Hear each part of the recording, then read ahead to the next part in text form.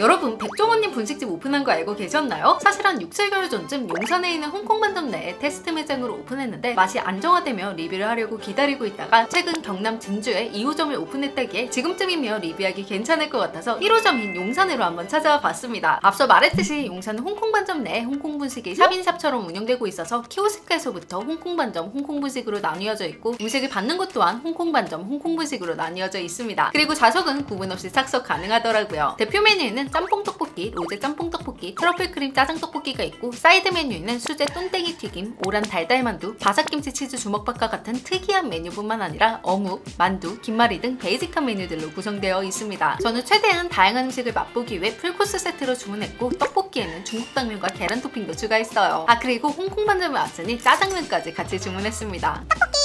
잠시 후 메뉴가 나와서 음식을 받아왔고요. 메뉴 비주얼부터 쓱 훑어보자면 시그니처 짬뽕 떡볶이와 오란 달달만두, 수제 똠땡이 튀김, 바삭 김치 주먹밥, 그리고 추가 주문한 고추짜장까지입니다. 저는 먼저 짬뽕 떡볶이부터 먹어봤는데 먹자마자 불향이 은은하게 퍼지다가 달달한 짬뽕 베이스 양념 맛이 느껴지니 마치 볶음 짬뽕을 먹는 느낌이 들더라고요. 사실 처음에 메인 메뉴가 짬뽕 떡볶이라고 했을 때는 좀 흔하다라는 생각이 들었는데 막상 먹어보고는 생각이 바뀌었어요. 그동안 제가 먹어본 짬뽕 떡볶이는 대부분 떡볶이 양념에 짬뽕 국물을 더해 짬뽕의 분위기만 낸 듯한 느낌이었다면 이 짬뽕 떡볶이는 정말 볶음 짬뽕이 떡볶이가 된 마냥 훨씬 더 중화풍의 맛이 잘 살아있었고 또한 불향도 맛도 너무 인위적이거나 자극적이지 않아서 quality가 더 우수하게 느껴지더라고요. 그리고 제가 더 맛있게 느꼈던 포인트는 바로 떡이었는데 떡 자체의 quality가 괜찮아서 양념 맛을 떡이 더 잘 받고 잘 살려준다고 느껴졌어요. 그래서 어디 떡을 쓰는지 어떻게 조리했는지 궁금하기까지 하더라고요. 그리고 어묵 맛은 무난한 편이었고 중간중간 오독오독 씹히는 목이버섯의 식감과 다양한 채소까지 기본 구성이 다양하니 골라 먹는 재미가 있어서 떡볶이에 대한 만족도는 높은 편이었습니다. 다만 애초에 떡볶이가 오리지널 떡볶이가 아닌 짬뽕 떡볶이다 보니 메뉴 자체에서 오는 후보로는 있을 거라고 예상해요. 떡볶이보다 짬뽕을 더 좋아하시는 분들까지 만족시킬 수 있는 정도의 특별함은 아니기 때문에 이색 떡볶이 찾는 분들에게 추천드리고 싶은 메뉴입니다. 그리고 만약 홍콩 분식에서 떡볶이 드실 분들은 중국 당면사리는 필수적으로 추천드릴게요. 그동안 먹어본 중국 당면에 비해 면적도 크고 두께감도 더 있는 편인데 쫀득쫄깃한 식감까지 너무 잘 살아있어서 달달한 볶음 짬뽕 스타일의 양념과 정말 찰떡이었습니다. 마치 또 하나의 중화 요리를 먹는 듯한 느낌이라서 만족도가 높았어요. 여러분 홍콩 반점에서 고추짜장 드셔보셨나요? 저는 원래 칼칼한 걸 좋아해서 고추짜장을 즐겨 먹는데 이 지점이 유독 맛있게 잘하더라고요. 고추기름의 풍미가 느끼함을 싹 잡아주어 처음부터 끝까지 맛있게 즐길 수 있었습니다. 홍콩 반점은 기본 짜장면보다 고추짜장이 더 맛있으니 꼭 고추짜장 한번 드셔보세요.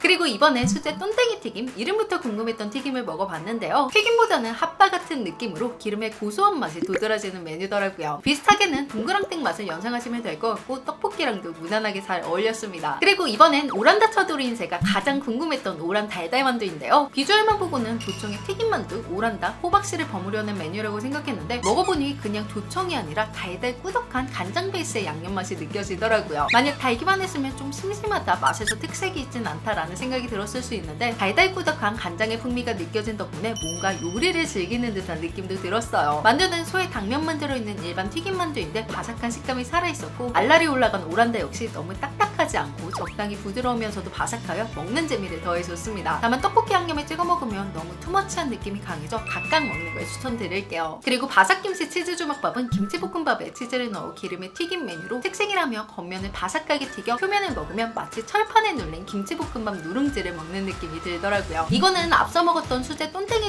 나 오란 달달만두에 비해서는 특별하다는 느낌은 좀 덜했지만 가장 대중적인 호불호 없는 맛으로 그냥 먹어도 떡볶이에 찍어 먹어도 정말 맛있었어요. 자 오늘은 이렇게 백종원님이 만든 분식집 홍콩 분식의 다양한 메뉴들을 낱낱이 파헤쳐 봤는데요. 어떠셨나요? 저는 기대보다도 메뉴의 독창성과 quality가 좋아서 맛도 있었고 재미도 있는 시간이었습니다. 그래서 궁금하신 분들은 가벼운 마음으로 한 번쯤 방문해 보셔도 좋을 것 같고 영상 재미있게 시청하셨다면 좋아요와 댓글까지 남겨주세요. 그럼 오늘 영상은 여기까지였고 다음에 더 맛있는 떡볶이로 돌아오겠습니다. 안녕